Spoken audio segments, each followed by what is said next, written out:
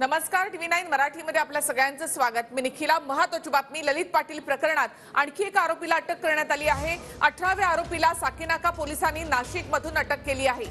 हरीश पंत असं अटक केलेल्या आरोपीचं नाव आहे. हरीशच्या मदतीने पाटील बंधूंनी कारखाना उभा केल्याची माहिती पोलिसांनी दिली आहे. तर हरीश पंत असा अटक केलेल्या या व्यक्तीचं नाव आहे. पाटील बंधूंनी कारखाना उभा करण्यासाठी हरीश पंतची मदत घेतली होती.